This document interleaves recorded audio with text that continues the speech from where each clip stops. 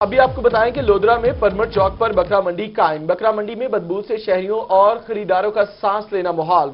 وبائی امراض پھیلنے کا خدشہ پیدا ہو گیا۔ پرمٹ چوک پر بکرا منڈی سے شہری آبادی کے مکینوں کو مشکلات کا سامنا۔ علاقہ مکینوں نے احتجاج کرتے ہوئے بکرا منڈی کو آبادی سے باہر منتقل کرنے کا مطالبہ کیا۔ اسی پر اپڈیٹ کر رہے ہیں مشتاق بھٹا۔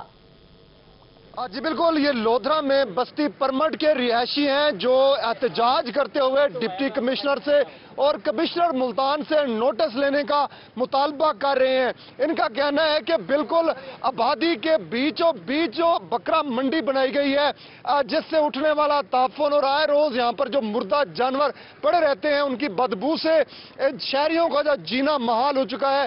مختلف قسم کی وبائی امراض پھوٹنا یہاں سے جو ہے معمول بنا ہوا ہے ایک عرصے سے، لیکن کئی بار انتظامیہ کو آگاہ کر چکے ہیں، کوئی نوٹس نہیں لیا گیا۔ کیا مطالبہ ہے شہریوں کا؟ میں بات کروں گا۔ بتائیں کیا مطالبہ ہے؟ مطالبہ ہمارا یہی ہے، بکر منڈی کی وجہ سے لوگ ادھر اہل علاقہ مختلف بیماریوں کا شکار ہو رہے ہیں۔ ہمارے بچے بزرگ مختلف بیماریوں کی وجہ سے بستروں پر پڑے ہیں ہاسپٹل میں داخل ہو رہے ہیں۔ ہمارا مطالبہ ڈی سی او سے اعلیٰ حکام سے ہے کہ مہربانی فرما کر اس بکر منڈی کو عبادی سے باہر منتقل کیا جائے۔